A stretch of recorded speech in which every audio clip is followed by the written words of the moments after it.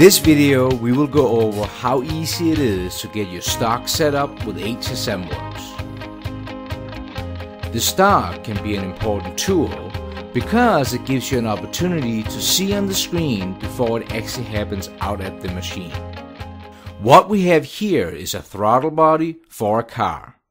This is a casted part and we are coming back to that in a little bit. But the reason that I have changed the colors is simply so I can keep track of what faces and features I have to machine. Now, let's take a look at our stock options in HSM Works. We will start by navigating over to the CAM Manager and then selecting Job from the SOLIDWORKS Command Manager.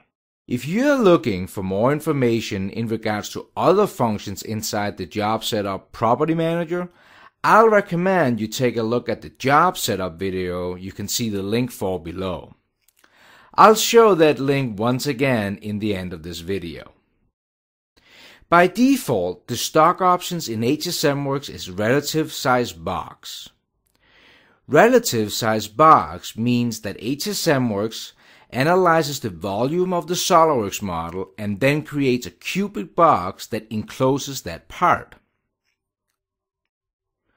The second drop-down gives you options to add or not to add additional material to that cubic box. The continue machining from previous job checkbox can be really helpful. If you're using multiple jobs for different operations, like the part here where we need to machine from different sides, you can perform rest machining in the second setup and the HSM Works will consider what was machined on the stock in the previous operation. So relative stock is great. By default, it quickly gives us some stock to work with. And this is great if you just need to throw some toolpath together or maybe do not know what size your stock is in real life. The second option is fixed size box. So if you do have the extra stock sizes you're going to use, you can then input them in these fields. It is important to point out that XYZ axes are responding according to the work coordinate system. So here Z is up and down. But if I switch the work coordinate system, the Z height will change along. Notice how we can change how the fixed size box behaves in regards to the axis, really giving us a lot of flexibility. Next one is cylindrical. What is really cool about this is that HSM Works is looking for an axis of revolution. And this can really be any axis. So you could select a cylindrical face or an edge, or you could create your own by using SOLIDWORKS reference geometry. And you can display the measurement as stock offset or as radius. It is entirely up to you. There is two options left, from solid and from extruded sketch. I am going to show you from extruded sketch first. Both of these are really superstars to why integrated CAM is so powerful. First, from extruded sketch. Of course, the great thing about using SOLIDWORKS is that you have great CAD tools we can use those great CAD tools for our stock.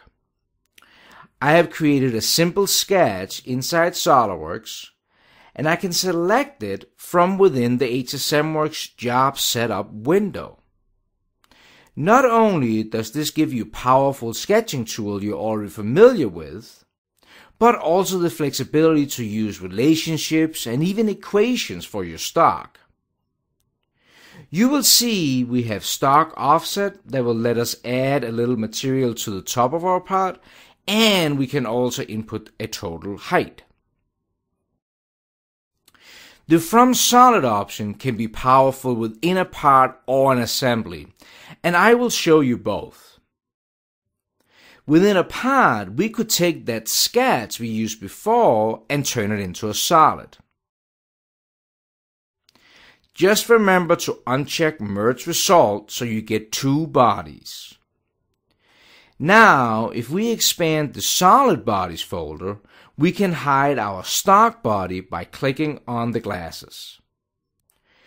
Back to the CAD Manager, Job Setup, and in the Stock drop-down select From Solid. You can expand your feature tree, expand the Solid Bodies folder, and select that hidden body. Now, that solid will be used as stock when using stock simulation. This is giving you a lot of freedom to really do things as accurate as you need within HSMWorks. I said before that this is a casting. I actually have a SOLIDWORKS model of the raw casting that I would like to use so I can be completely assured that even when I machine the red areas, I get exactly what's going to happen out at the machine. Let me delete the solid we just created and show you a trick that even some SOLIDWORKS superstars would maybe not think of. We can actually bring in a SOLIDWORKS part into a SOLIDWORKS part. Not as strange as it might sound. Here's my raw casting. It has extra material on the top and on the bottom, and as you can see, it's also missing all the holes from our original part, we are going to hit insert and then selecting part. You will recognize that our feature tree look as before because what we ended up with was our raw casting as another body. Following the same steps as before, we can now hide our raw casting and selecting it as stock from the From Solid dropdown. To finish this video off, let's switch over to an assembly. Here I have a fixture I have created to face off both top and bottom of our castings. What I have done is mating our raw casting into place so I can use them as the excess stock. And also the finished parts as they are the ones I'm going to pick my tool paths from. So from the CAD manager, everything is business as usual. I'll pick the two finished parts as model, and from the From Solid option, I'll pick the two hidden raw castings. As a bonus, I also want you to be aware that the fixture option will let you select fixtures, clamps, and or vices, and this will make HSMWorks be on the watch out for collision detection. Now that's another great feature. Now, hit the green check mark, and now where I select the facing operation, you will see that the stock simulation will display the actual raw castings as stock. This is assuring that you get the best idea of what is going to happen out at the machine before your program even gets there. Now, I promised to show the link again for the job setup video, so here it is.